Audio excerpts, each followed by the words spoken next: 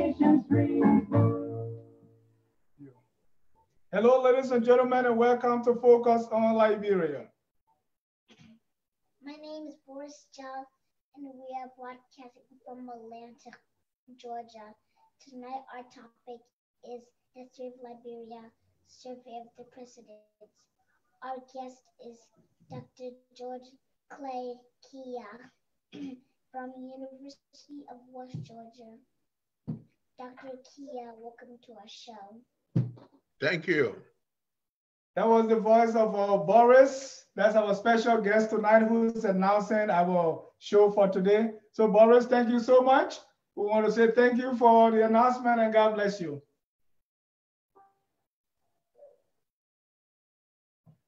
President, President, President President, President, President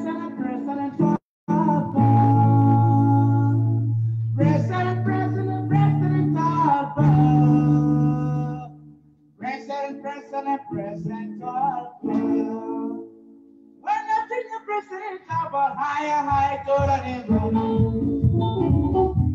well, ladies and gentlemen, welcome to Focus on Liberia. This is a continuation of our history series. As uh, Boris has announced, tonight is a survey of the Liberian presidents. Enjoy the music, invite your friends, and let's keep this going.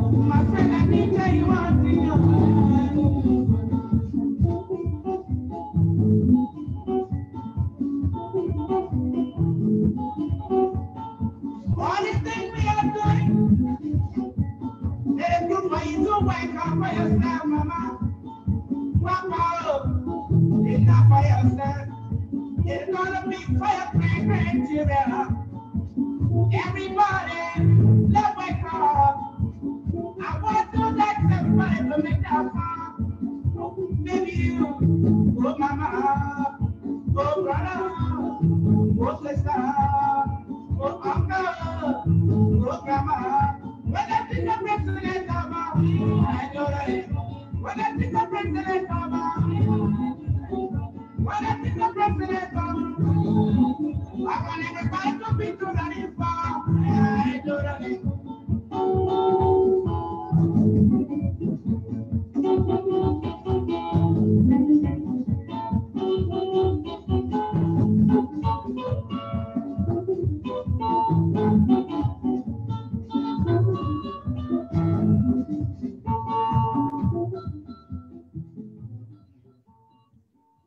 Again, welcome to Focus on Liberia. Our uh, guest tonight is Dr. George Klay Kieh. Dr. Kieh, welcome to Focus on Liberia.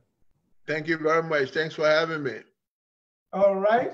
Uh, we've, we've had a series on uh, Liberian history. We started from the 13th century, the time before 1822, all the way to present day Liberia. To climax this series, we decided to uh, do a survey of all our presidents, like a case study, and who's the better person to do it than uh, political scientist and former presidential candidate, Dr. George Klay Kieh. All of you watching, uh, we say welcome to all our viewers across the globe. Uh, it's been a wonderful time going through this series, and we are happy. Uh, we are almost concluding. Today is the climax, and uh, Dr. Kieh is our guest tonight. Dr. Kiera, really been a good thing. I, I, know I don't know if you watched some of our history series from uh, before 1822 to present. You know, just talk if you've watched anything like that. Just talk to me the significance of uh, really going through Liberian history for this month of February extending into March. Well, uh, I saw some of the transcript. I didn't watch any of them live. I uh, certainly saw some of the transcripts, some of your guests, including Dr. Herbert Brewer and uh, uh, uh, um, uh his, his, name scares, me now, but both Dr. of them are Morgan State. Dr. Govo. Uh, uh, Dr. Sam Govo, yeah. Dr. Sam Govo and Dr. Herbert Brewer. Uh, uh, I, I saw some of the essays from their interview. Uh, I was appointed with two of them to work on a panel that was supposed to rewrite Liberia's history. So I was quite delighted that you had both of them on to uh, discuss some aspect of that project. Unfortunately, that project really never got off the ground, and that was really unfortunate because those of us who were asked to participate in it were quite excited. But I did, I did uh, see excess of it. It's very, very important, and I'm happy that the discussion started before 1827. I mean 1822 because most of the history books on Liberia uh, ignore uh, tends to ignore uh, the pre-1822 period is as if the history of that era, formerly called the Grain Coast, started around that time. So it was quite important to have that. And, and I want to thank you and your colleagues because you, you, you're really not just providing a, a, a, valuable community service, but a good learning experience, not just uh, for Liberians and Africans, but people throughout the world. I mean, to have a better understanding uh, of the Liberian experience and the various groups uh, that sort of make up that experience. And then particularly so, uh, you know, it coincides somehow with Black History Month, also made the uh, series uh, quite important. So this is this is an excellent opportunity to, again, as I said, gain insight into the history of our country uh, so that we can appreciate the contributions uh, that various groups uh, have made uh, to the to the historical evolution of Liberia. Thank, thank you. And uh, just briefly on Dr. Kieh, Dr. George Klay Kieh received his BA in political science from the University of Liberia, MA and PhD in political science from Northwestern University, Illinois in USA, he has held several teaching and administrative positions, including lecturer of political science, University of Liberia, chair of the Department of Political Science and professor of political science and international studies at Morehouse College, Atlanta, Georgia, dean of international affairs and professor of political science and African and African American studies at Grand Valley State University, that's in Michigan, USA, and Dean of the College of Arts and Science at the University of West Georgia. Currently, he's the interim chair of the Department of Criminology and professor of political science at the University of West Georgia and professor of international relations at the African Methodist Episcopal University in Monrovia, Liberia. He has published quite extensively on Liberia, including the books on the First Liberian Civil War, The Crisis of Underdevelopment, and Liberia state failure, collapse, and reconstitution. Currently, he's completing a book on post-conflict elections in Liberia. In addition, Dr. Kieh has been quite active in Liberian affairs because of his pro-democracy activities. He was a political prisoner, prisoner in 1979 and 1984. Dr. Kieh, let's start with that a political prisoner in 1979 and 1984. Tell me briefly about that. Well, uh, uh, thank you, uh, Dennis.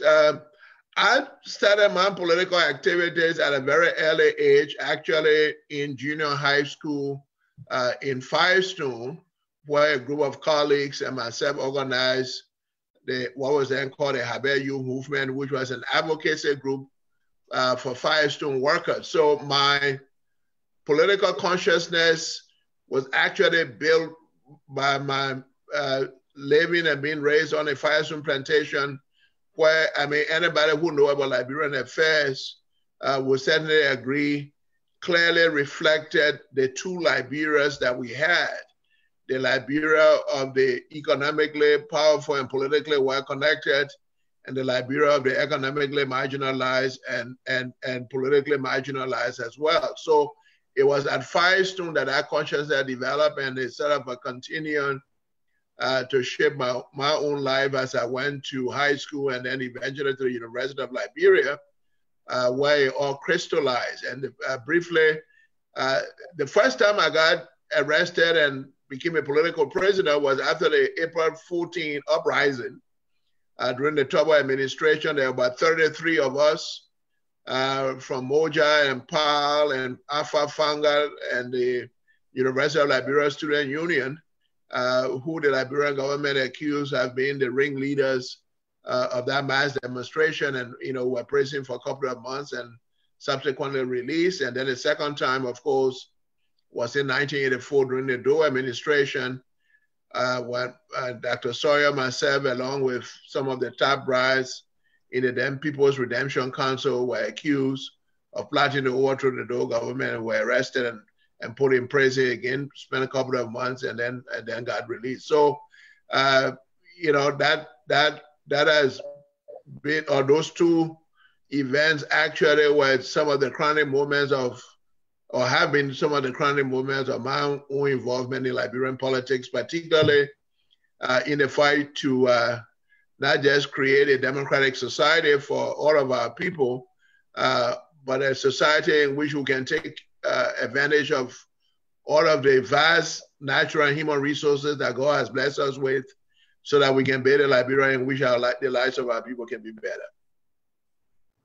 Thank, thank, thank you so much. And uh, yeah, it was important that you mentioned that because I read your profile and like political science bachelor degree, political science uh, master's degree, and political science PhD. Too much politics you learn. well, I mean, uh, uh, you know, career-wise, I always uh, wanted to be a teacher of government, and I developed that interest uh, more profoundly at the University of Liberia, where I had the privilege to really have some of the best, the best minds anybody could have as teacher, Dr. Sawyer, Dr. Famuleh, the late Dr. Abraham Jeans. I mean, so those were folks that really, really, really, really, you know, develop my interest in political science. So I always wanted to be, uh, uh, you know, like them, a, a, a, university professor. And I thank God, thank you that he has given me the opportunity to certainly achieve that dream.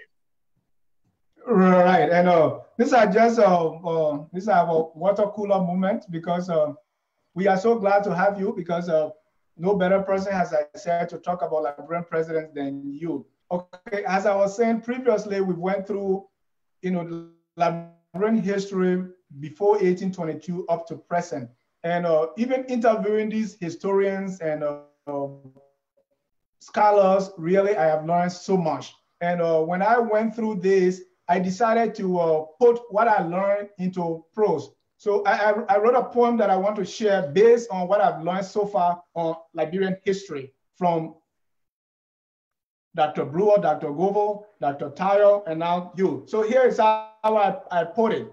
Liberia means freedom.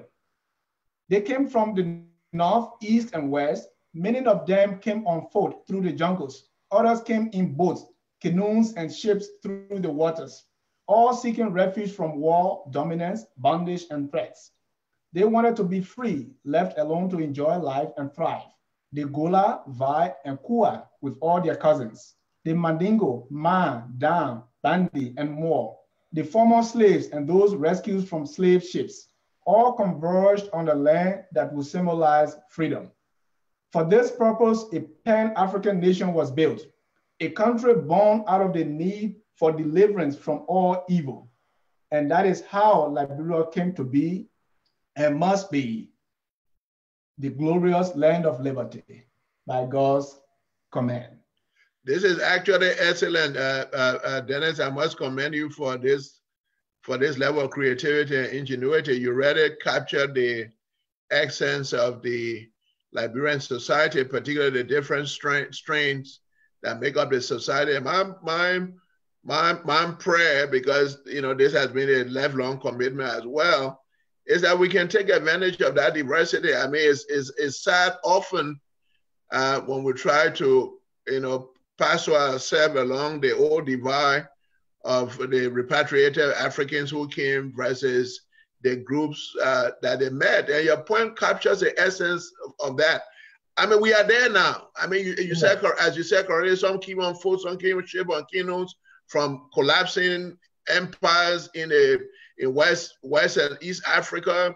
Others came from the Caribbean. We and we all met there. So the, the question is not how our forebears got to Liberia, is how mm-hmm. those of us who are their descendants can work together and build a democratic and prosperous Liberia for all of our people, irrespective of what their ancestral backgrounds might be. That that has been the enduring challenge And that's the challenge that we really, really gotta be fully committed to uh, to working on because uh, you know, as you know, it, it is, and your audience knows, is is really irrelevant in terms of you know what what people ethnic or other kinds of background uh, is is is, is the content of people's character as dr martin luther king used to say that really really really matters what is an individual committed to in terms of improving the lives of our people? Whether he came from settler background or he Kru or Bassa that should be totally irrelevant. Th- th- thank you. Thank you. And we wonder because you know it's, it's good to really look at liberia and know that we we we Liberia was, you know, founded as a place of refuge, not only by the former slaves, but also by Africans coming from those collapsed empires and for various reasons. So you know, it's fine. but that's uh that's that's then today our topic is on the presidents of Liberia. There is no political conversation involving Liberia that does not talk about the presidents. One time I wrote that uh, the president failed our lives, so there's no way we cannot get away. But what we have not done is uh, we have not really critically looked at our presidents. When I was in uh, Garden, we memorized the rhyme, Joseph Jenkins Roberts, Stephen A. Benson. But we, I, I did not really know who they were, whether these people were actual human beings. I don't know if other people did. As regards their policies, who they were, what impact the, the administration had on Liberia and Liberians, we don't know. So tonight we are glad to have you to walk us through from Joseph Jenkins Roberts to George Mane Bekubewe. Once again, welcome to Focus on Liberia and let's get this going. Thank you, Dennis. Well, let's let's try to do that. Let's try to do that quickly. Let's let's start with Roberts. Uh, Roberts, of course, as you and your audience will know, uh, had the daunting task of providing leadership in really building a new nation. So he was the he was our first president. So he and his government had the Herculean task of actually building a state. I mean, which was quite challenging. And and and to Robert's credit, uh, he had excellent leadership skills, excellent diplomatic skills, uh, and so he was well suited for the position. But Robert became president against the background of two major challenges that were facing Liberia. One was, of course, as we had uh, the discussion in the previous section, the state or the country that was created uh, in 1847, deliberately by its constitutional design, and unfortunately, I may add, left out the majority of the Liberians, the people who were members of the various African groups that our brothers and sisters who came from the United States met on the Grain Coast that subsequently became Liberia. So when the country was established, they were denied citizenship for 100 years, for an entire century. From it was not until 1947 under Tubman that President Tubman that citizenship was extended to uh, you know people of indigenous background. And President Roberts and his his successors realized that that was a major problem. So that was one major challenge. The second major challenge, of course, that Robert also had to deal with was the constant encroachment on Liberia's territory, particularly by the British and the French, uh, who, of course, given their own uh, imperial agenda, had designs on expanding the uh, colonial empire since they were next door in uh, Sierra Leone and, and uh, in Sierra Leone for the British and Guinea and Cote d'Ivoire for, for, for the French. So, so President Roberts did a, you know, a fairly good job in, in, in you know, moving the country through those difficult periods. And then, of course, he got succeeded by uh, A. Benson, uh, uh, who was his vice president. Interestingly, uh, Benson was Roberts' vice president, and then when Roberts sought a third, uh, a fourth term of office, Benson, his own vice president, ran against him and defeated him, and became that's so that's how Benson became the second president of Liberia. He ran against uh, his the man with whom he had served as as vice president. And so, of course, Benson was faced with the with the same challenges.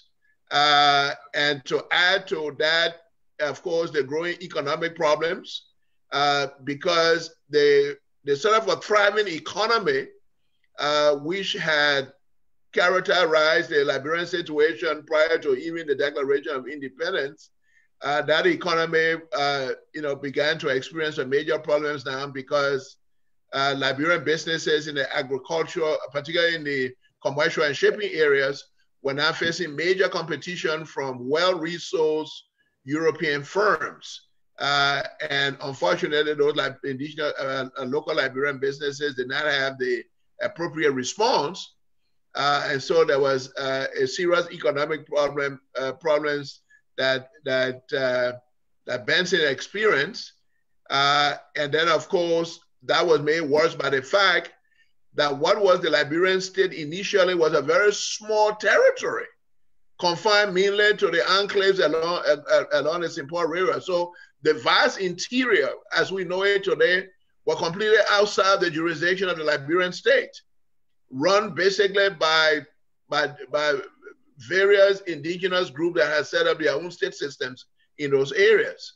So uh, after Benson, we had uh, we had Daniel B. Warner, and Warner, and Warner, knowing and sensing that challenge, decided to commission Benjamin J.K. Anderson, who did an exploratory mission and expedition to the interior to get a sense of what those indigenous uh, uh, ethnic entities look like, and to get a sense of what the resource lay of the land was.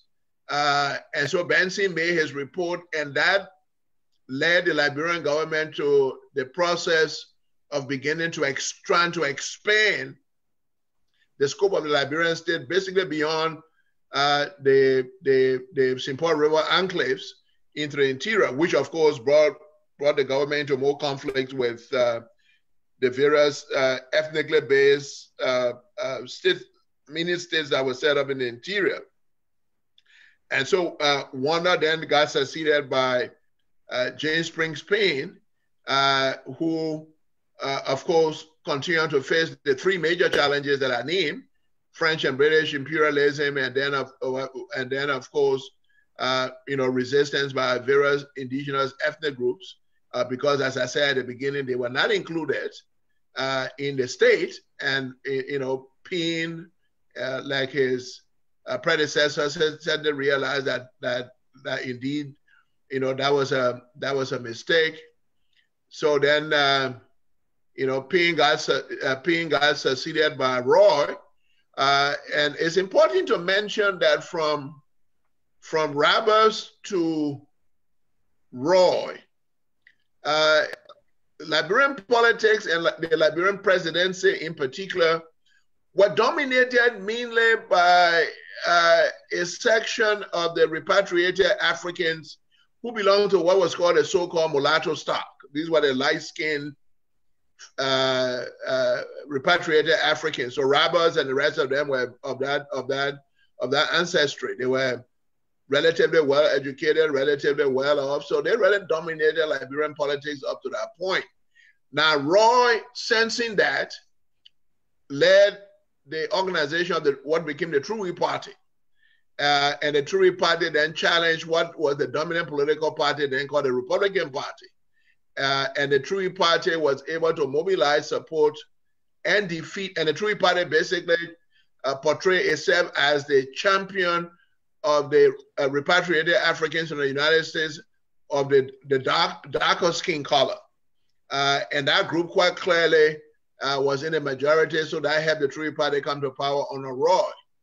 But Roye's tenure was short-lived uh, because he faced a number of major problems, including the uh, the ones we the, the, ones that I tried to previously lay out.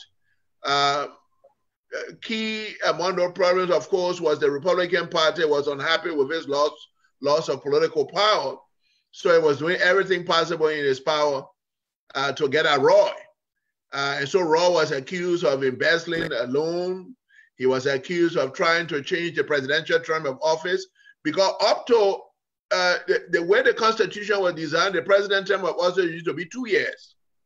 Okay. So the president had a very short term. It was two years because the mindset at that time was that the presidency and political office in general were not supposed to be careers. People really did not like to work for the government, but all of that changed as we discussed before when the economic situation became very difficult beginning around 1869, that's when the government really became a major source of employment for folks. But for about the first uh, 22 years after independence, uh, people were mainly working in the private sector. I mean, you know, government was just seen as an opportunity. You go in, you, you render service, and you leave. So the two-year term of the president clearly reflected that, that the intent was not to really have uh, lifelong career government officials. So Robert uh, uh, Payne, uh, I'm sorry, Roye, among other things, were accused of wanting to change the term of office. And the, the, the confluence of those factors, of course, led to his removal under questionable circumstances. Of course, he died in the process, uh, and they're, they're conflicting historical accounts of what really happened. Uh, one account, of course, claims that uh, he was deliberately murdered. Uh, others claim that he wanted to escape and he drowned. So, you know, there, there, as, as I said, a number of conflicting historical accounts. But he got replaced by James Smith, who was his vice president.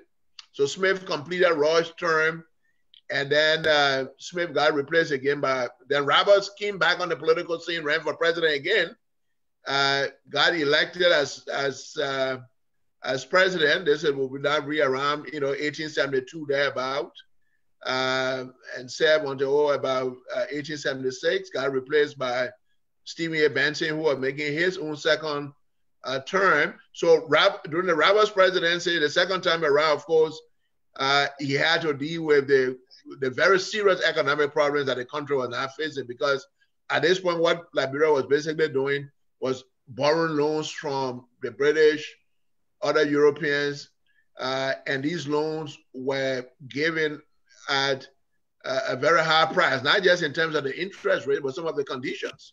I mean, the country was basically put on a receivership. So it was like, uh, it was a country on, in name only uh, in terms of uh, the fact that it had a, a, flag and all of that stuff, but economically it was really being controlled from the outside.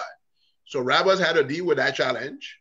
Uh, James Spriggs who replaced him, then also uh, had to deal uh, with that challenge. Uh, then Payne, of course, got replaced by Alfred Russell. Uh, Russell served a, a very short term of office because he resigned. Uh, then he got replaced by his vice by, by, by his vice president Anthony W. Gardner. Uh, Gardner, of course, like his predecessor, the immediate predecessor had to deal with the major concern of the government at that time, which was basically the economic viability of the country. Uh, he served, uh, and then of course got replaced by Hilary uh, uh Hilary uh, Johnson. Now, up to this point, up to Hilary Johnson, the Republican Party, which represented the light-skinned repatriated Africans or the so-called mulatto, had regained political control of the country after Roye's removal. So they were dominating the uh, politics of the country, and the Hilary Johnson broke that, broke that, broke that uh, domination. And from from Hilary Johnson's term, uh, or around 1883 up to Tolbert, uh, the True Party then dominated Liberian politics for for the I mean just the rest of that period. So the, the True Party's stranglehold on the politics of Liberia uh, was for a very, very, very long time. So uh, Johnson got replaced by by Cheeseman, of course, in addition to the major economic challenges facing the country, Johnson, of course, faced challenges from the, the British.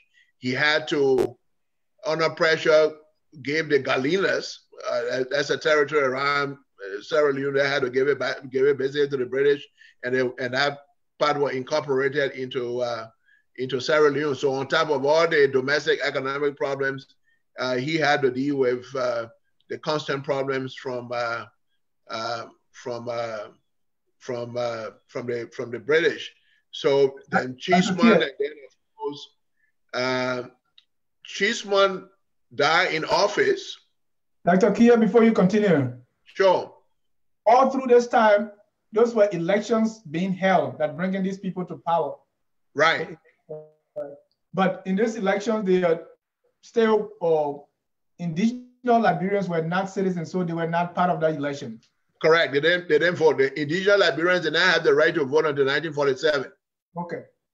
Let, let, let's move on with Cheeseman. Yeah, so Cheeseman died in office uh, and then got replaced by Vice President Coleman. Uh, Coleman faced some major problems because one of the uh, one of the things he was already accused of was that he, he was incompetent, that his government was actually incompetent, uh, that it had not come up with the requisite policies to deal with the country's challenges, including, of course, the continued resistance from the African ethnic groups that were based in the interior, uh, the economic situation the country was facing, the continued territorial encroachment from the British and the French. So he was forced to resign. So mm. he resigned, uh, and the way the Constitution was written at that time, uh, his the, the speaker was next in line, but the speaker was called Hale. But then the argument was made that Hale was not Hale what made things worse. So the legislature quickly uh, changed the constitution and made the Secretary of State the next in line, and that's how Garrison Gibson became the president after Coleman. So, uh, so uh, Gibson Gibson uh, replaced uh, Coleman as president, of course, facing the same uh, the same challenges, and then of course uh, he was then followed by by Daniel E. Howard, and honor honor Howard's presidency. One of the key challenges, of course, was the resistance, particularly by uh, the, the Kwa ethnic groups along the southeastern flank of the country had really increased. Uh, and, and so Howard and his government really saw that as posing threat to the very viability of the Liberian state itself. So the Liberian government really devised very repressive means uh, in trying to quell that rebellion. In fact, the government was assisted in that process by the U.S. government. The U.S. government diverted a naval vessel uh, to Liberia to help the Liberian government to uh, beat back that resistance, uh, particularly uh, on, in the southeastern region during Howard's uh, uh, presidency. So Howard was quite was quite notorious for his very repressive tactics, and he actually laid a foundation for what became the imperial presidency, this strong presidency that we now have. Howard already laid the background for that, and then Arthur Barclay already finished the, the, the plan. Uh, in 1904, Barclay came up with what was called the Barclay Plan, and and under that plan, uh, the the entire interior was reorganized because by this time, the Liberian government now has succeeded in extending the country's authority to the interior. So once that was done, President Arthur Barclay then felt that uh, that he was going to set up uh, an, an interior administrative system. And mm-hmm. under that system, that's how we came up with district commissioners and all of that. So the system of district commissioners were, de- were developed during Barclay's Arthur Barclay's administration under the Barclay Plan. And and this this uh, chain of command was developed where the district commissioners then will report uh, through the what it was called then the Secretary of the Interior, who will now be the Minister of Internal Affairs, report to the Secretary of the Interior to the President. So the idea was to make the President the ultimate decision maker, uh, you know, of this what was to then develop into this vast interior administrative uh, machinery run by DCs through the through the the, the Ministry of the Internal Affairs, uh, and then to the president. A second key element of that Barclay plan was the creation of the creation of the military. That's how the Liberian Frontier Force got created in 1907. And the Frontier Force was basically created for two major reasons. One, to suppress rebellion by still restive uh, indigenous ethnic groups, particularly in the, in the southeastern region, because the groups in the southeastern region remain very resistant to the authority of the Liberian state for a very long time. So the LFF, as it was initially called, was created to be able to deal with, uh, with, with those rebellious ethnic groups in a very brutal way. The second major purpose of the frontier force, of course, was uh, was tax administration because that's how the that's how the hot tax was developed and the LFF was used to go into the interior and basically subject folks to very inhumane conditions as a way of forcing them to, to pay hot tax.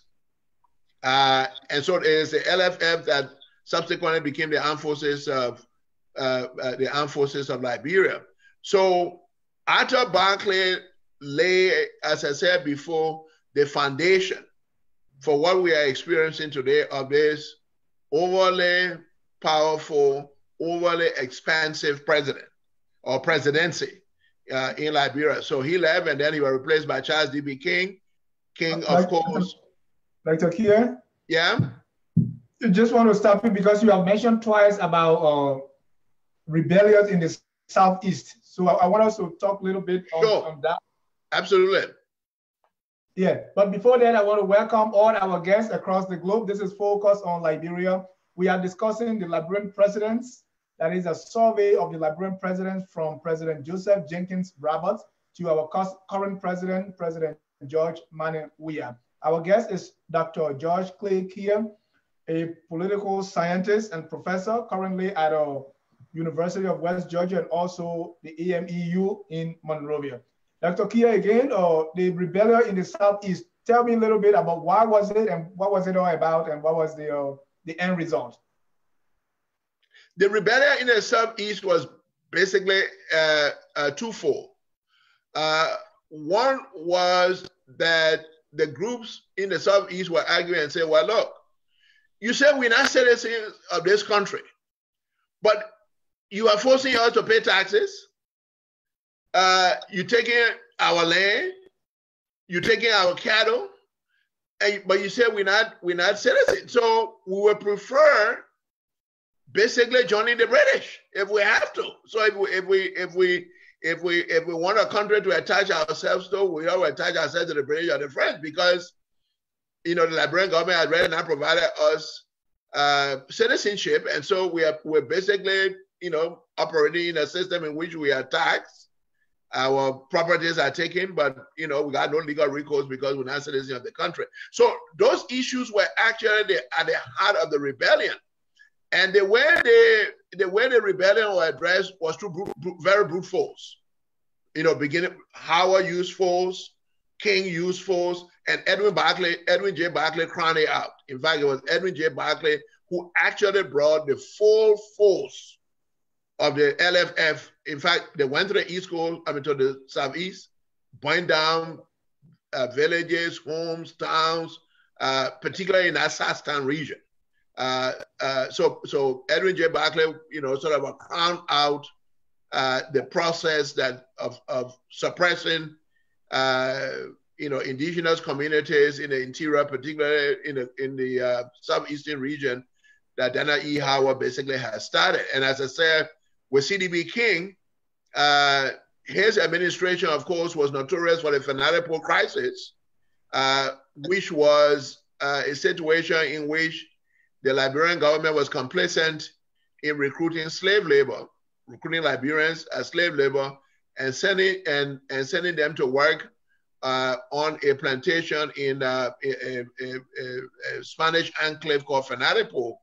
Uh, that issue was raised by Thomas J. R. Faulkner. Faulkner ran for president uh, against King and of course, King rigged the election. In fact, that election, the 19 the 1927 election was the most not only the most fraudulent election in the history of Liberia, but one of the most fraudulent elections in the world because it's in the Guinness Book of World Records. The the the the number the number the number of votes that were that were alleged that King won were more than the number of registered voters. So so it was it was it was as I said, not only the most fraudulent election we've had, but one of the most fraudulent in the world. So Faulkner was the one who actually brought this government policy of slave labor to the attention of the international community. And the League of Nations then set up a commission called the Christy Commission. And that commission went to Liberia, investigated, and of course found that yes, indeed, the Liberian government was complacent uh, in this policy of slave labor. And in the end, President King his vice president, Ali Yancey, and his postmaster general, Samuel Ross, all three of them resigned. And that's how Barclay became uh, the president because he was the secretary of state. Uh, keep in mind the order of succession had not been changed, where the second in command now was no longer the speaker, or the second to the presidency was no longer the speaker, was now the secretary of state. So Barclay became uh, president by replacing King after King resigned. And as I said before in my earlier comments, uh, Barclay, among other things, uh, was quite notorious for his suppressive tactics against the folks in the southeastern region. Uh, he, he, on balance, tried to address the country's economic problems as well. Uh, and one of the things that he tried to do uh, was to open up the economies to foreign investors. So, what became the open door policy under Tubman later on? Uh, that the framework for that policy was ready laid by Barclay. Uh, and then he also tried to renegotiate the, the Firestone Concession Agreement uh, that, that was signed during the King administration in 1926, an agreement that was very lopsided uh, and that heavily favored Firestone. So Barclay himself uh, uh, knew that as Secretary of State, so he tried to renegotiate that that that, that agreement as well. So uh, on balance, uh, I would say that Barclay's greatest contribution was trying to address the country's economic problems. Uh, his worst essentially was rather than finding ways to integrate the indigenous population uh, into the body politic, uh, he thought the use of force uh, will be the way basically to subdue them. So why he made laudable strides, or his administration made laudable, laudable strides uh, in terms of trying to address the country's perennial economic problems, uh, I, I, believe based on the evidence that uh, he performed quite very poorly in terms of trying to integrate the country. Then, of course, uh, when his term was over, uh, he then basically recruited William V.S. Tubman, uh, Tubman, President, uh, who became President Tubman later, was first a senator from Maryland, and then he became an associate justice of the Supreme Court. And so President Barclay, as the outgoing leader of the True Party, re- recruited Tubman to be the party presidential candidate, but there was stiff opposition against Tubman, particularly from the Monrovia wing of the True Party, led by folks like Clarence L. Simpson uh, felt that he should have been the president. So the compromise then was that Tubman was made a presidential candidate and Simpson was made his uh, his running mate. And so that, you know, Tubman became president in, in the 1944 uh, election. But Tubman clearly had his, his own plans. Uh, and of course, as we know, you know, given the fact that he, he was the longest serving president we had for 27 years, he certainly had enough time to uh, put those plans uh, in uh, in uh, in uh, in action. Let's sort of quickly go through that. Uh, one of the things that he did, and in a very clever way, was that he knew that he did not really have a political base among the Liberians of repatriate background. So he made a determination that, well, look, if I can grant citizenship to, to the indigenous group there in the majority, uh, they certainly will be indebted to me and they can become my, my, political base. So that's that was the decision he made. So in 1947, uh, Liberians of indigenous background got citizenship. And of course, as Tubman correctly predicted, uh, he became endeared to them. You know, he created four new counties, Bong, Lofa, Nimba, and Grand. Uh, yeah, uh, people from indigenous background, uh, you know, serving the legislature for the first time. And not that, not that they are serving there made any profound difference for the material conditions of Liberians, but, you know, folks saw those as, you know, uh, important uh, forms of symbolism. And that endeared folks uh, to Tubman. And of course, Tubman then moved very quickly uh, to essentially abolish the liberal democratic system because Keep in mind that even though uh, the majority of Liberians of indigenous background was not granted citizenship, within the narrow confines of of, of politics, within dominated in a in a community of, of, of Liberians of African uh, uh, repatriated background from the U.S. Uh, there was liberal democracy, competitive party system, rule of you know rule of law, freedom of the press, and all of those things were were essentially being practiced. What President Tubman did in 1955 was basically was to abolish uh, that liberal democratic system. Uh, and the, the whole incident with D. Twe uh, was the beginning of that process. So Twe was forced into exile. Uh, his party was banned. Uh, and uh, a number of leaders who were associated with Twe, as Raymond Horace and folks like those, they were arrested, stripped literally naked, paraded through the streets of Monrovia. Mm. And that's how uh, the True Party then became the, the de facto single political party in Liberia from 1955 until about 1980, very briefly, when PAL became the Progressive People's Party and then got banned also by the legislature. And then the True Party was the single de facto party, not by law, but by in practice until uh, until the, the April 1980 coup. So we had a, the open door policy on a on a Tubman. Uh, there was economic boom in the country, but that did not lead to development. It didn't improve the material conditions of the Liberian people. So it was a missed opportunity. Liberia had one of the highest economic growth rates in the world at that time, next to Japan. But that, that as I said, did not translate into improving people's material condition. Tubman died, replaced by, by President Tolbert, his vice president for 19 years. President Tolbert knew that some changes had to be made. So to his credit, he basically tried to open up the political space to liberalize politics. That's how Moja and PAL and Alpha Fanga and the Universal Liberal Student Union, Cuttington, all these high school student governments, that's how they became very active. That's the space in which I myself got involved in Liberian politics as well. But that space closed very quickly because President Tubman was under pressure from the old guys of the True Party who basically wanted to run things the way Tubman ran them, and they were not interested uh, in opening up the space for any, uh, any kind of democracy.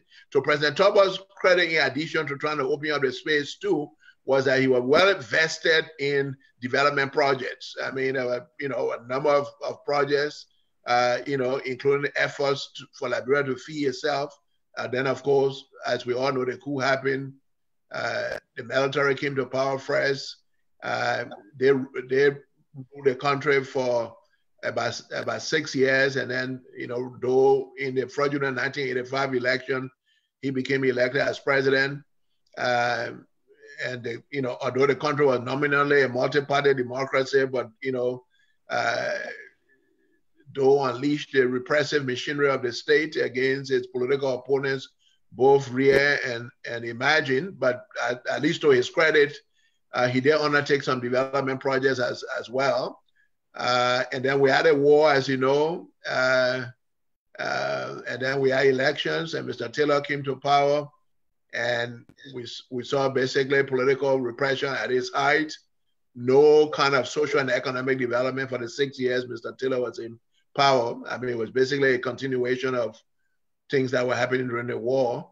Then we had a second war, uh, the, the, the, War from 1999 to 2003 and then we had, of course, an interim government on Bryant, then the election in 2005 that brought Mrs. Sirleaf to power. She was president for two terms.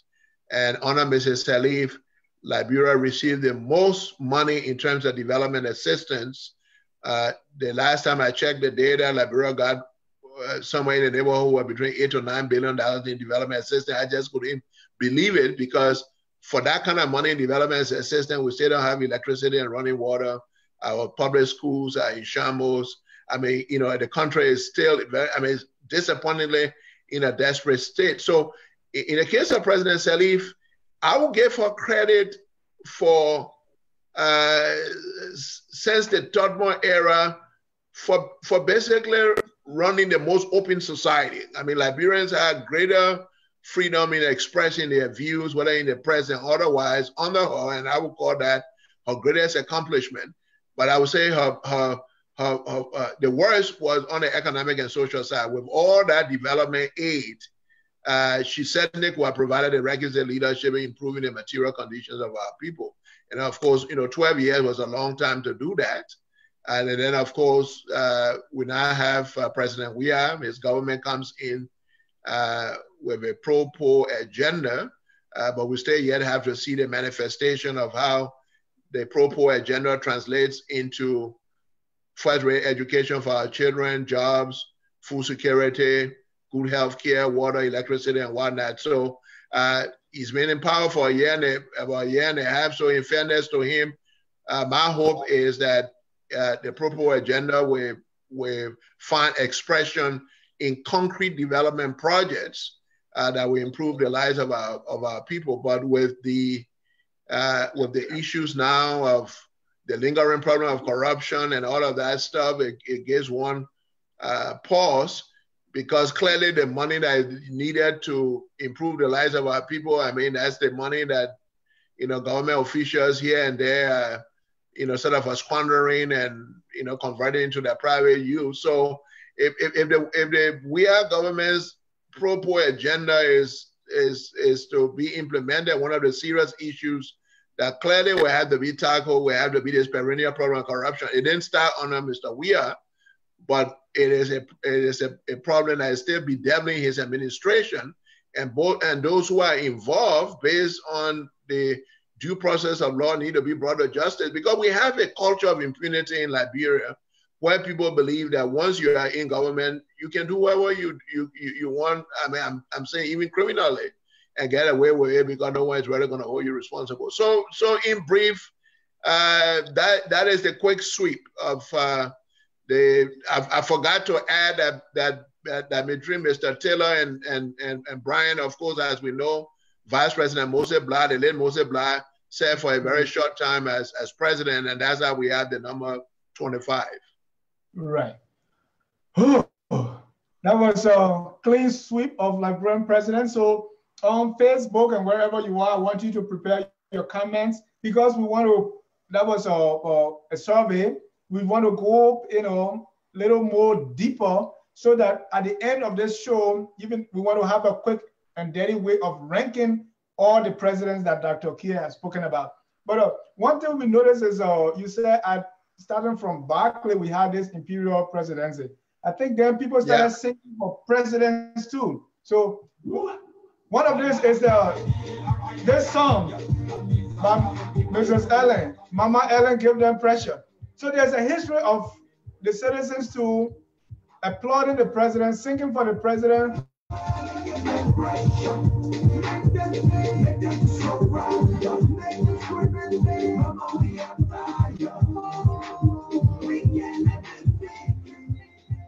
So we, we, we're using this time so you can prepare your comments or questions as Dr. Kieh also think about how we can rank our presidents from the best to the worst.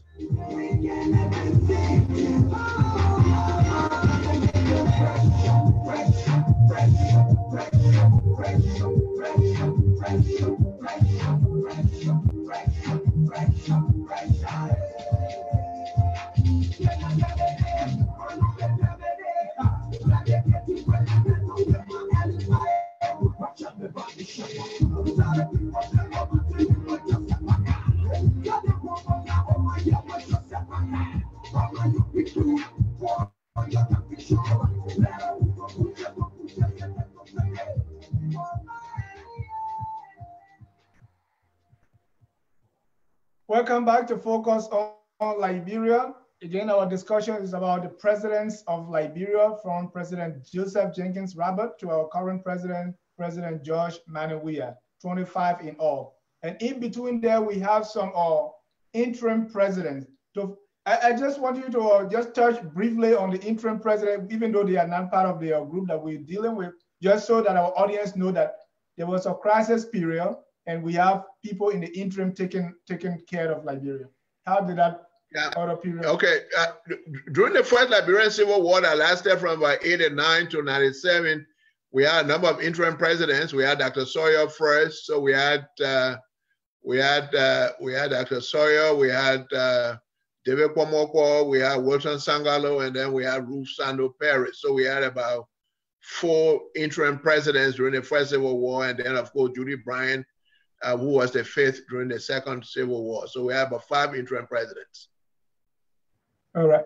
And then there is this question of uh, President Moses Blah. There was a question whether he was interim or actual president. Well, he was president because because President Taylor resigned uh, uh, prior to the constitutional uh, because President Taylor was supposed to election was supposed to be held in October of 2003, and President Taylor was then supposed to turn over power or retain power uh, in January of 2004. So he didn't get to that point. Uh, he resigned, and so uh, Vice President Blah became president. I mean, just like uh, just like with you know, just like with you know Garrison Gibson or Right. or or, Russell. or, or, or, Russell, uh, you know, uh, you know, uh, who, who folks who became president for a very short time after presidents resigned. Okay. We have some comments on our Facebook. Want to just read them. Mianta Dakina said, Thank you, Dr. George Klay Kieh, for all this great information. Nini Allison, great overview. And uh, uh, Chele Juteju said, is talking about people going to Liberia.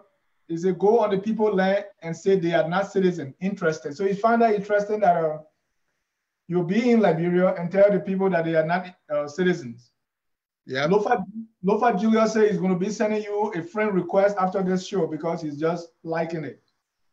I said, good luck with that if you find Dr. Kieh active on Facebook. I will try. I, I, I promise you, I will try. okay, great. Uh, historian Sam Govo said Tucker basically became a victim of a liberal policies that have been advocated all along by the progressive. He was actually going with the wind of change, but the old guys of the TWP were not in favor of quick change. Is that right? That's right. Yeah. All right. That's right. Okay, so let's let's go into our ranking. I, I know we don't have that, but we want to to to start that. And uh, in fairness to you, one person cannot rank, but we just want to have a quick and dirty way as we think about our presidents from someone who know a thing about two of, about these presidents. Well, I, I, I think we got the ranking, we got to think about exactly what is it that we want to rank them on. Now, what comes to mind, uh, three major areas for me, and, and this is by no way an exhaustive list. I mean, you know, the, you know, the, the, the, the list of indicators can be as extensive as possible.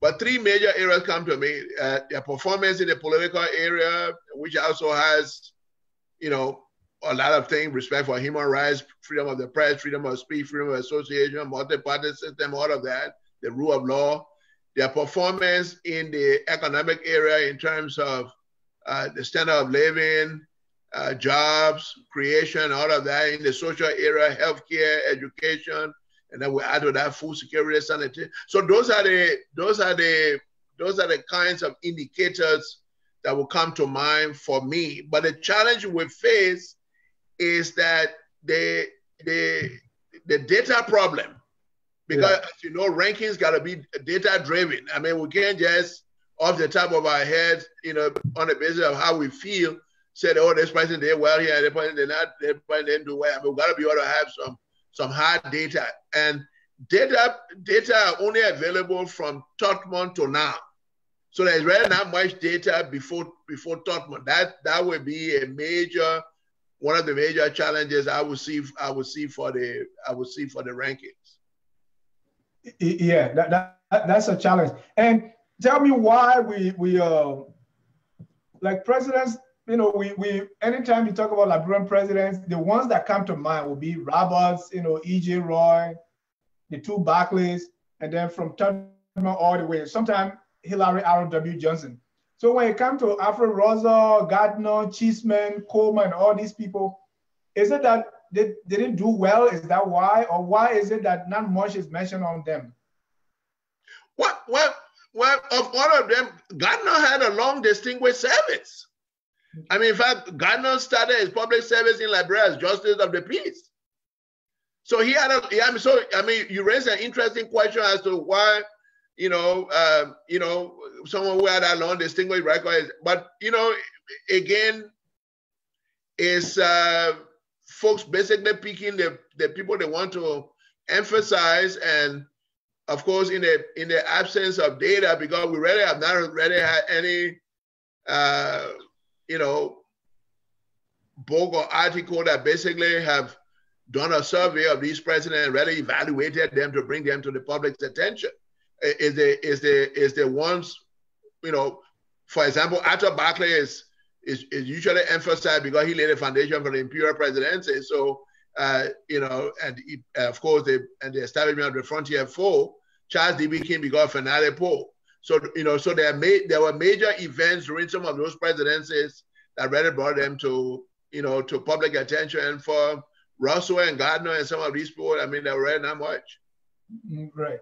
And, and now sometimes or in our political discussion, we talk about, oh, this guy was the worst president, you know, starting, but we don't have we don't have data on But that's it. That's it. But I mean, we can try to rank. I think the presidents we can try to rank will really be from Tubman at- because because we have we can. we- I mean, you know, depending on what our what our evaluative criteria might be, we can find data for those. And on the basis of the data, we can rank them. I mean, that's that's a good project to undertake.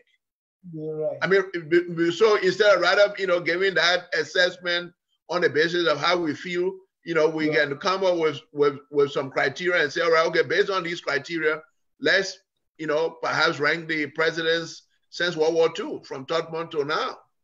Yeah. One thing we, we, we I also learned from uh, especially Dr. Brewer is not to read history backwards because right now sometimes when you look at our current realities, you're trying to look back and we always look back and look at quote unquote good old days. So Yeah, based on those, we sometimes give high marks to administration before. yeah. Our political discussion today kind of lean towards President Tolbert as being Yeah. one of the best presidents. What do you think? Yeah. How do how do you assess uh, Tubman or Tolbert when when we look at? Well, well, um, I mean, based based on the based on the based on the data, uh, uh, based on I, I mean, I will give you credit for opening up the political space, although as we discussed, it closed very quickly because he fell to the pressure of the old guys. Uh, but he he to his credit really opening up the space after Tubman had already closed it for, the, for almost the 27 years that he was president. Uh, so that really gave rise to this push and clamor for democracy for which the old guys blame him. In fact, if if if Tolbert already had not already been overthrown, the old guys themselves were planning to remove him. right. Yeah, they were planning their they were plan, they had their own plan hatch up to uh, remove Tolbert because they saw him as you know posing a threat to their hold on power. The era the the, the era in one of the eras I, I, I believe in which he des- deserves uh, also some high marks as well uh, is in terms of the development projects. Uh, and and and that flowed from the fact that President Tolbert was a visionary. I mean, I had the privilege to hold conversations with him twice as a young man. Uh, he had a vision. I mean, he could sit down with you and articulate whether you agree with him or disagree with him. He could he could articulate where he wanted to take Liberia. And we saw some evidence of that with a number of the little projects that we wanted to farm to market role and and and uh, you know his intervention in education. It was President Tolbert that that that that brought about government subsidy to the University of Liberia. Uh, tuition at the University of Liberia, President Tolbert was thirty-seven dollars and fifty cents a semester. So he made some major interventions in some in some key areas, uh, uh, as well as uh, you know undertook major development projects. And then, you know, if I may quickly add as well, we take the area of agriculture, the Bong County Agriculture Development Project, Lofa County. So I mean, he saw self-sufficiency in food production as a as a as a major area that needed improvement. But again, th- those two pressures, pressure from the family side and pressure from the true true party old guys basically got him off track and he was not able to resist uh, uh, those those pressures. Right. In, in fact, there are some writings that talk about the palace coup. So, in fact, there are some people who think that uh, the 1980 coup, there was a palace coup planned for, uh, I think, 79, that his his own, you know, the old guys wanted to overthrow him, and I don't Oh, know yeah. if they did. No, no, what they didn't. I mean, there are all kind of explanation about the palace, um, about the 1980 coup. I mean, one explanation, of course, if you read the late Mrs. Tolbert's uh, uh, book, I think it's called Lifted Up, uh, which she published in '96. Uh, you know, she she you know she accuses the U.S. of involvement in that coup. So I mean, there are others who have made that who have made that argument as well that that's it was a, a, a planned American coup because uh, they saw Tolbert's policy of opening up to the Soviet then Soviet Union and other socialist countries has been detrimental to the interest of the United States, and so the U.S. intervened to remove it. So I mean, there there you know various explanations about that. There's a question on Facebook from M. Cox Mitchell. Said most presidents had mixed ethnic identities. Given intermarriages and migration patterns, many argue that there are no pure ethnic identities. Can you address the mixed identities, mixed ethnic identities of former presidents? Oh yeah. I mean, uh, uh, uh, uh most of them. I mean, particularly the, the you know from Roberts to from Roberts to Roberts, Ping, Warner, all of them were you know were I mean because all of them all of them you know basically came from the U.S. Yeah. Uh, mainly from the South. So these were basically who, uh, you know, folks who have black mothers and uh, and uh, you know because one of the one of the uh, uh, rare rare uh, negative effects of slavery was where you know slave owners you know you know basically you know rape women and have children by them. So you know that's how we got the so-called mulatto or light skin sector of that repatriated group. So Roberts and most of them, yeah, came from that makes mixed ancestry. And then even when they got to Liberia, uh, uh, you know, a number of them married uh, uh women from the various indigenous ethnic groups. So there are a lot of Liberians who may have on their paternal side linked to the repatriated Africans from here, and then on their maternal side from from from one of the one of the indigenous ethnic groups. So that I mean that's a that's a good point. When that's that situation is, is actually actually quite common. I mean one of two of the people that already come to mind, two prominent Liberians, they are deceased now, who come to mind to uh, to clearly reflect that that makes identity. The late Dr. Mary Antoinette Brown Sherman, who in my humble opinion was not only one of the most principled presidents I ever knew, but the greatest president of the University of Liberia. Her mom was Vai, and her father, Louis Arthur Grimes, uh, was a repatriate extraction. So was her brother J. Rudolph Grimes, who was Minister of Foreign Affairs.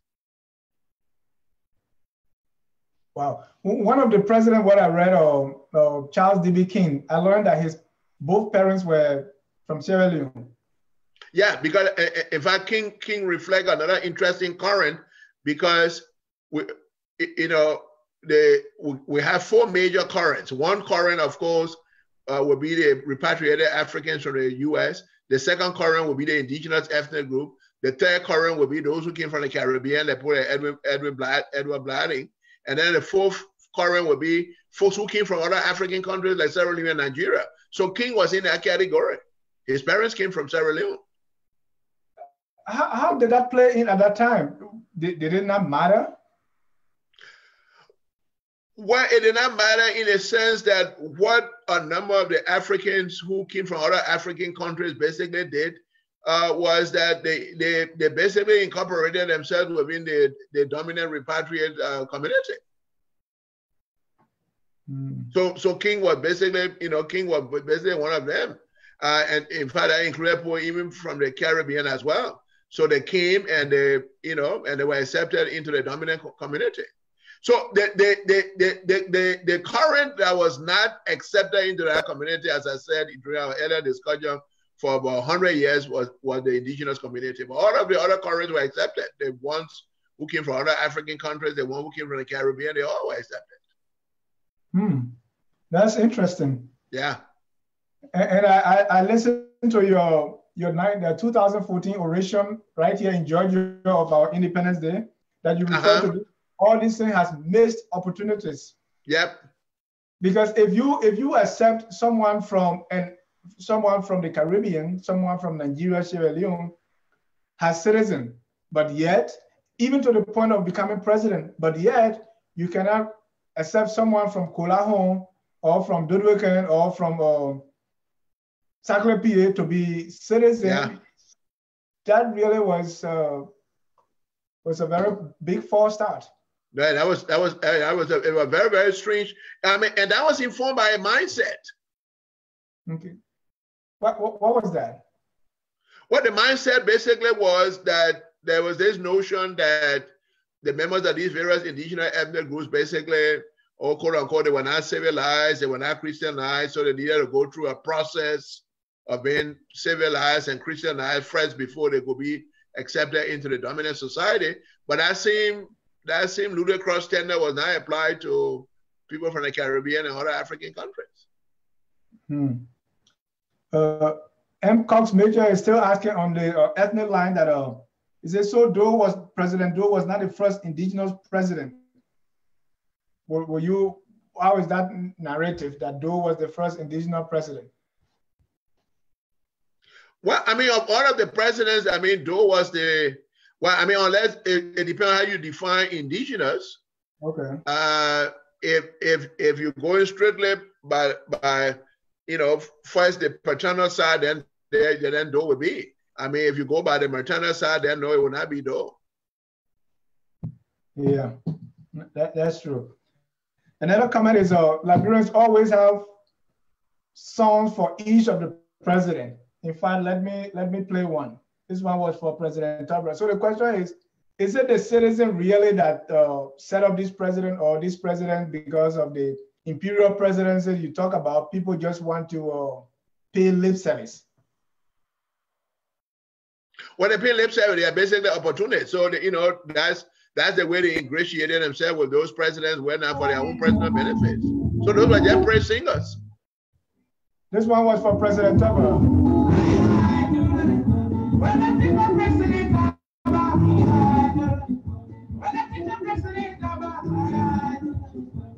One thing.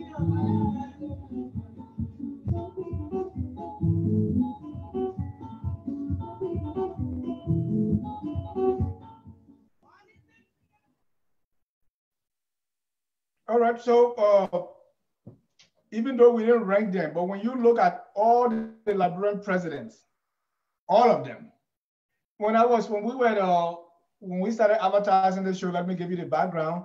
There were some comments that, that all of them are bad. All of them are, in fact, there is no point even discussing them because they all have failed Liberia. They all did not develop the country. They're all bad leaders. So there's no point even thinking about ranking. What is the what is your counter to that or uh, criticism?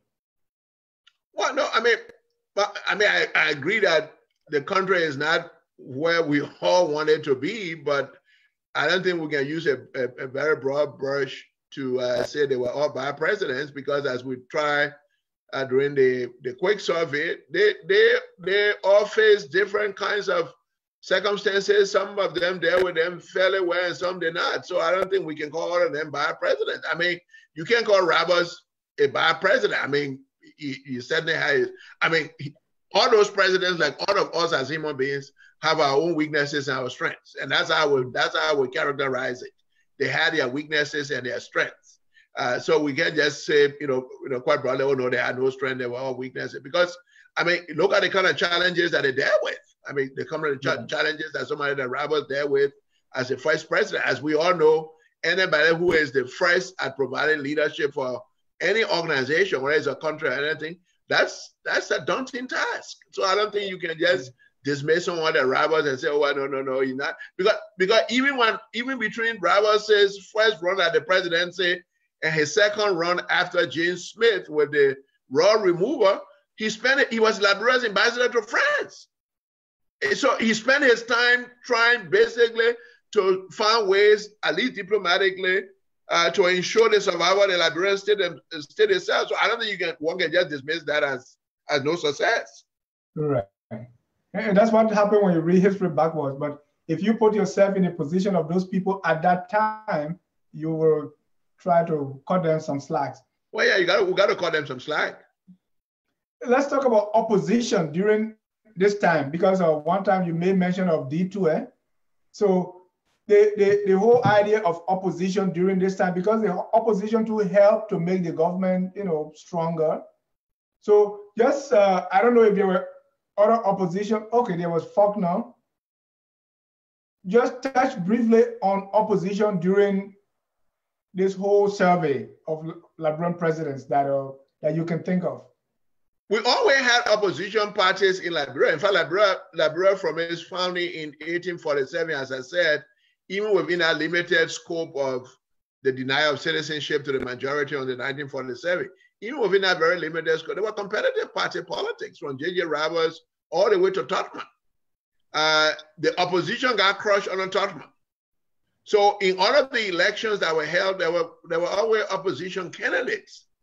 But when when when by the time we got around the presidency of Charles D.B. King, electoral fraud became a, a, mainstay of the Liberian political process. Okay, let, let even go back to Roberts. Roberts tried to run for a fourth term, and his own vice president defeated him. Now that that that would not have been possible if you really did not have a free and fair election, because he was an incumbent. So if if if if the election was not free and fair, there's no way Stephen A. Benson would defeated Roberts and become the mm-hmm. second president. But the King administration, as I said, introduced the element of fraud. So, so beginning with King, we started seeing fraudulent elections. And then, of course, that was institutionalized by the True Whig Party, beginning with, with Tubman, even though it was a single political party and you had single candidates on the ballot, they were they were they were they were still engaged in fraud. So the president won by 99% of the vote. And then you look at the, the count, uh, the number of votes the president got clearly more than the number of registered voters. So, so that that that we have viable opposition, I would say, from oh about 1847 to 1955. So the country has the country has the country has a rich history of opposition political parties. Let's look at President Tubman. He, he was in power for nine years. Why was there no election at that time? Looking at you know how our current dialogue kind of portraying as someone who was a visionary and someone who was more progressive compared to his uh, predecessor. Well, because the old guys, the old guys were not going to allow uh, a, an opposition political party to challenge them because they know that, you know, given their performance, they, are, you know, they, they had a very tenuous who on power and they were going to they were going to get defeated. Because if you take in 1980, very briefly, PAL became the Progressive People Party. It went through the constitutional requirement at that time was you get a list of 300 registered voters, the, the papers, party papers get probated, and you're a political party. So PAL was a political party for about a couple of months. And, and then the old guys through the national legislature issue a resolution banning, uh, banning PPP. Mm. But they did not want any opposition party at all. And President Tubman bowed to that pressure. And so then there was coup. Then of course, of course, we, we, we had a 1980 coup, and then and then the the the election that brought Doe to power was a multi-party election, but that election also was fraudulent because because because you know Doe used the election commission to basically rig the process. But there mm. were there were strong opposition parties in that election. And don't forget, uh, before that election, Doe Doe Doe Doe Bad and, and LPP and UPP, who were the, the the two most popular political parties at that time, LPP, an offshoot of Moja, and UPP, an offshoot of PAL, basically said that those parties could not run in that election. And even with that, he still got defeated by Jackson Doe, who then was the late Jackson Doe, then who was the Senate Bureau of Lab. And that was how the election commission led by Emmett Harmon engaged in a fraud that led to uh, Doe being elected president, which helped trigger the 1985 Quiwonkpa-led abortive coup. Hmm. There's a question on Facebook from Banedo. He said, Professor Kieh, how should we deal with the Liberia's imperial presidency? Which scholars like you point to has been problematic to Liberia's national development? Well, one of the ways in which you can deal with that is that we need constitutional reform. Uh, one of the major sources of the imperial presidency is that the president has very expensive power of appointment we need constitutional re- reform so that most of those folks that the president can appoint, those people, those jobs can be made civil service position or those people can be elected. That, for example, now you take the president of Liberia even appoint, appoint city mayors. City, the mayors of cities and city councils should be elected as part of this constitutional reform that I'm that I'm speaking about. Justice of the peace should not be appointed by the president. You know, all so there are a number of, of, of positions under the under Article 52 that that really need to be removed so that so that that will help then to basically reduce this power of the imperial presidency. And there are some laws also. I mean, the, the president does not only have the power of appointment in the political arena, he has the he or she has the power of appointment also in the education arena. The president appoints the University of Liberia and the presidents of all of our public university, public tertiary institution. The president even appoints the principal of BWI. yeah. Now the, the, the historians are coming at you. Dr. Brewer is asking, say, can Professor Kieh discuss the dynamics of the Sawyer for Mayor campaign, its background and consequences? What the Sawyer for Mayor campaign was one of the major tests of the of the true of true party hegemony. Uh, Dr. Sawyer at that time was a professor at University of Liberia, and uh, so the idea was that uh, the electoral system needed to be tested because keep in mind there was nothing in the law that said that the True Party was the only political party in the country. It was just by practice because because mm-hmm. Had crushed the opposition. Uh, so you know uh, the party was not challenged. So Dr. Sawyer's uh, run for the mayor of Monrovia was a test uh, of that. But as soon as that began, in terms of consequences, uh, it, it really grew like wildfire and started gaining a lot of support, not just in Monrovia, but across the country. As soon as that started happening, I was in the meeting at which President Tolbert then said that he was postponing the election. And I believe that the major mistake that was made when President Tolbert said was postponing the election is that we did not challenge that. We accepted that elect- the postponement of the election, and that's and that's how the Sawyer for Mayor campaign basically fizzled. But I mean, it made, a, made a major contribution in terms of challenging the system but by the same token, I, I believe the progressives made a major mistake by not really, really using that as a mobilization movement to say, you know what, Mr. President, the election will go on and we'll, we'll vote for the next mayor of Monrovia. But that was accepted. Asata Mandita Sawi say, great job, Dr. Kieh. Quick question. When did lo lower Lofa County, like Vahun district, become taxpayers in Liberia? You, you mentioned that uh, these people were not citizens, but they were paying taxes. So then the question is along those lines. Well, well, yeah, I mean, so it means that basically from about 1904, when the Barclay Plan was put in effect with the hut tax, from 1904 to about 1947, where, you know, whatever folks were in Vahun or other parts of the country, as long as they were of indigenous extraction, they were not citizens, but they were still paying hut tax. Hmm. Samuel Aduwoli say, which of the president will you say developed Liberia with achievements in the 20th century? Which of those presidents will you say try? I would say Tolbert. Another question from uh, Alex Divine say, is Alex Divine is watching from Monrovia. Say, is multi-party democracy good for Liberia, Professor Kieh? Well, yeah, multi-party, multi-party democracy is good because, uh, but the, the unfortunate thing in our situation is that in the midst of poverty and economic hardship, it is very difficult for opposition parties to be viable.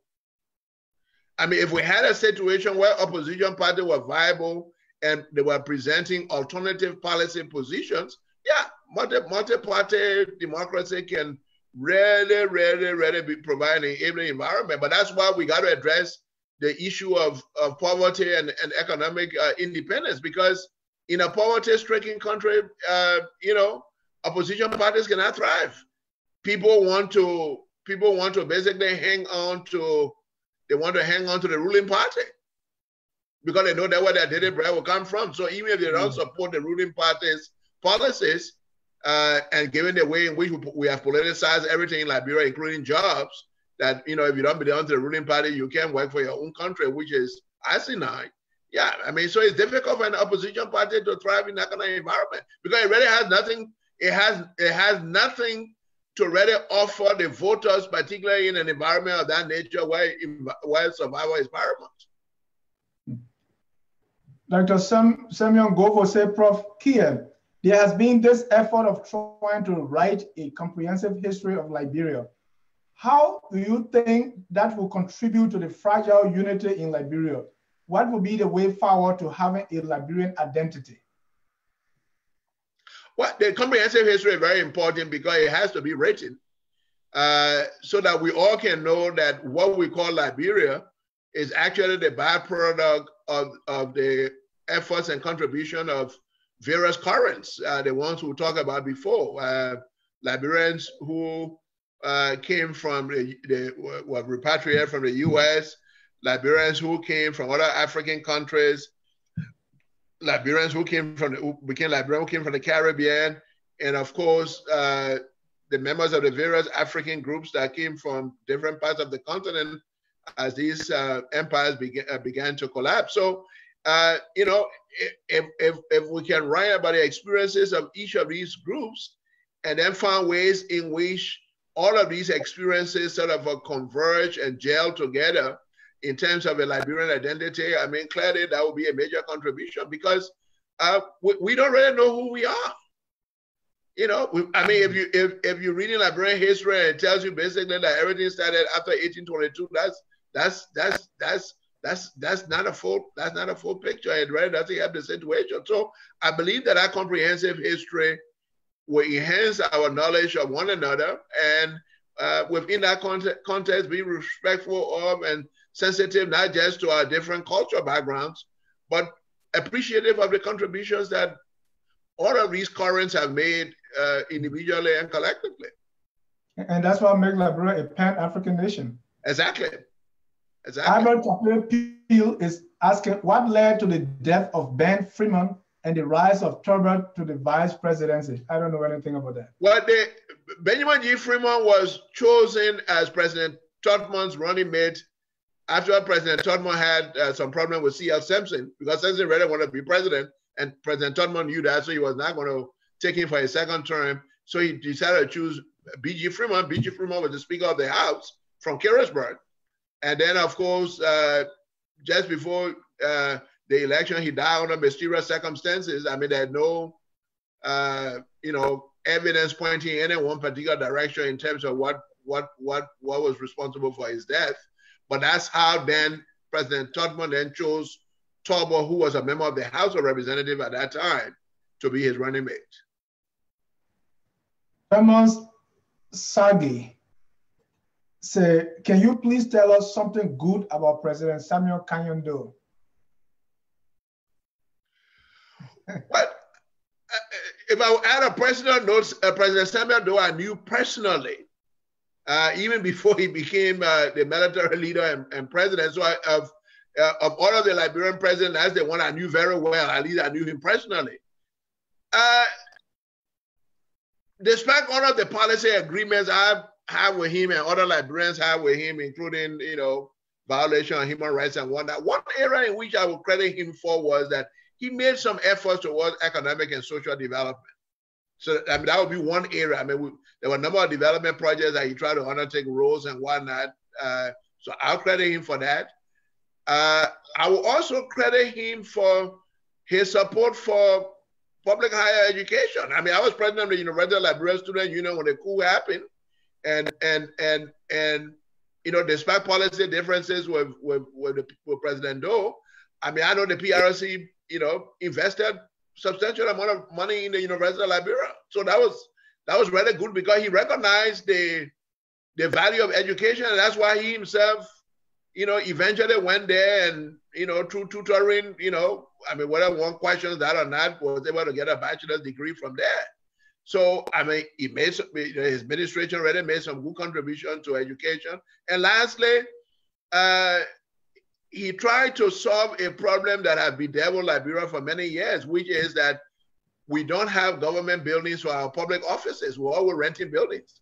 He realized that, and that's how, you know, a number of these major projects that the, the Ministry of Health, the Ministry of Defense, I had those projects really got started because he wanted to be able to address the government dependence on basically private landlords to house government offices. So those will, those will be some areas in which clearly I'll, I'll, I will credit him for. And that's why that's why I said before in my in my comment, uh, the, the the 25 people who have served as president, like every human being, they have their strengths and their weaknesses. And I don't think we can just sort of just dismiss them of a broad brush.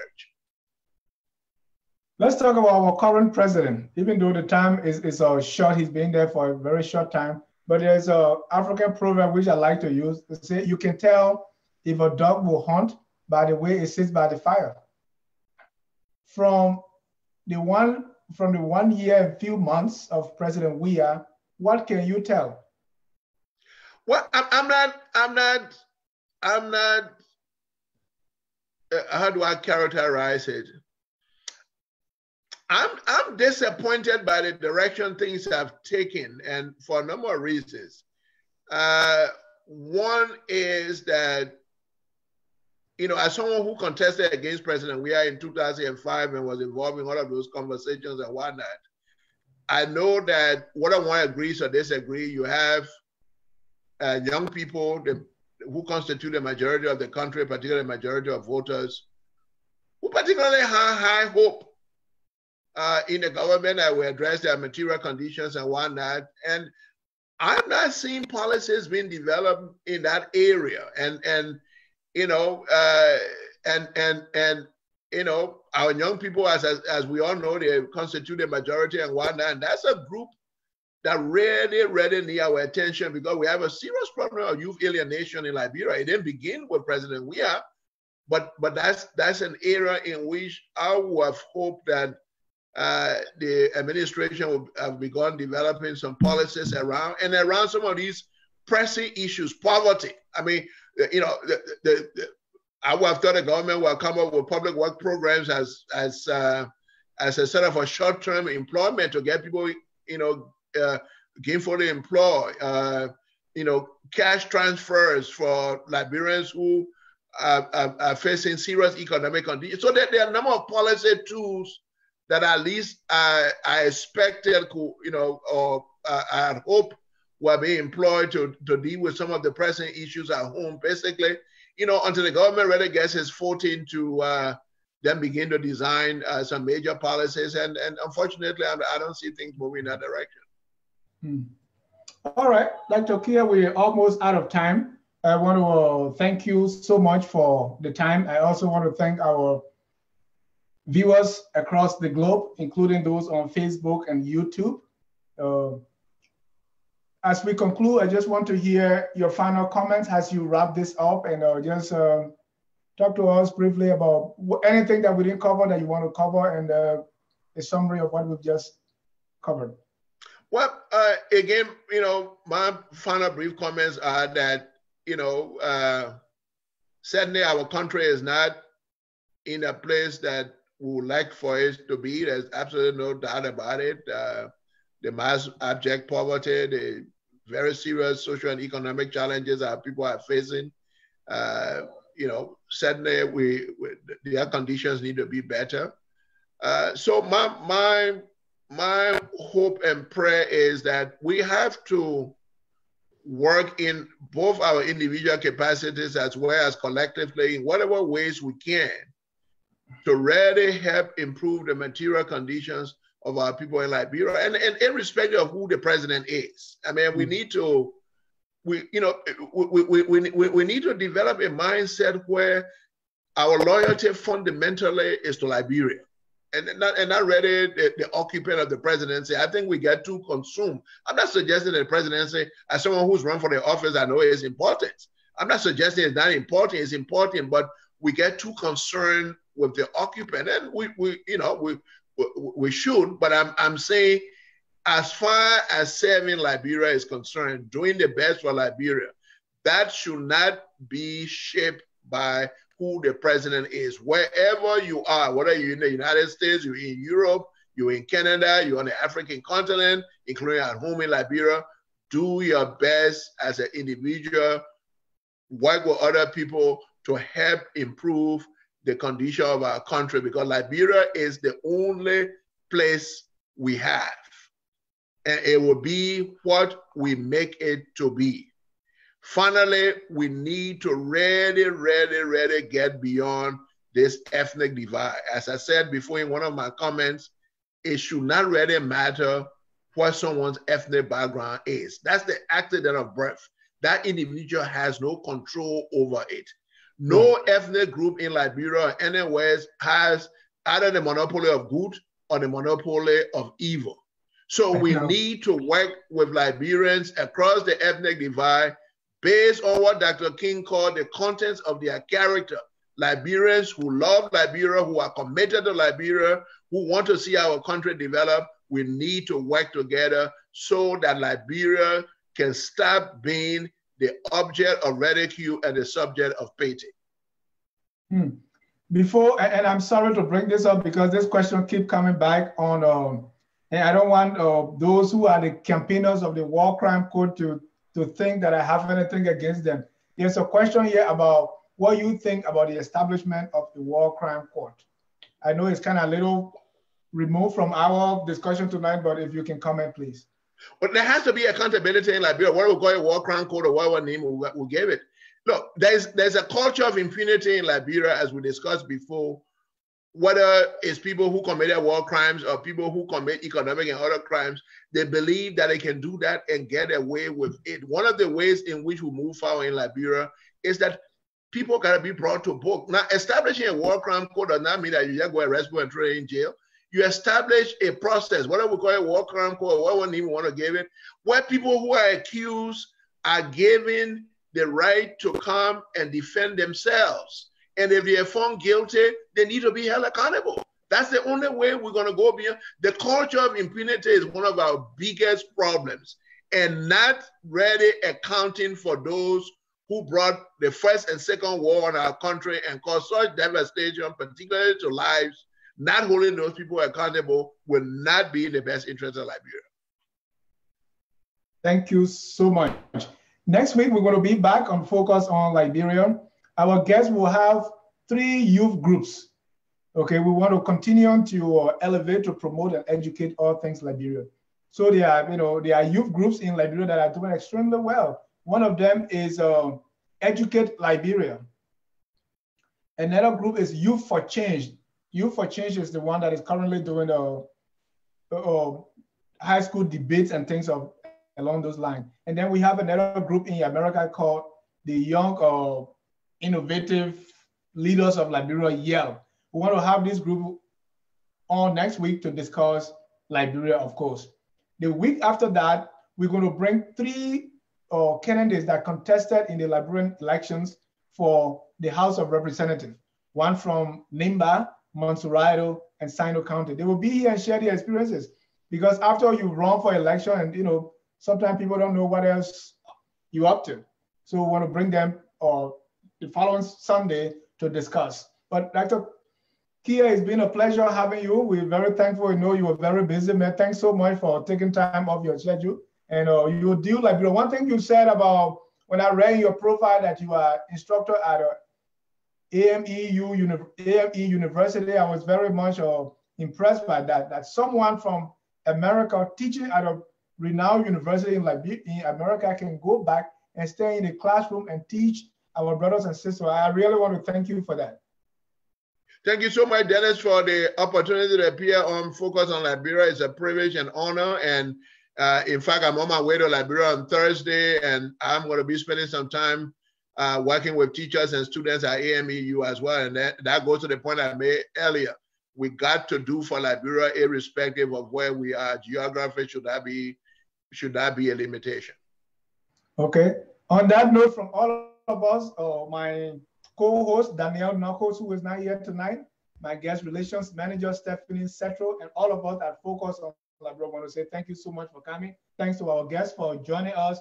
Until next time, my name is Dennis Job wishing you a godly night. Good night.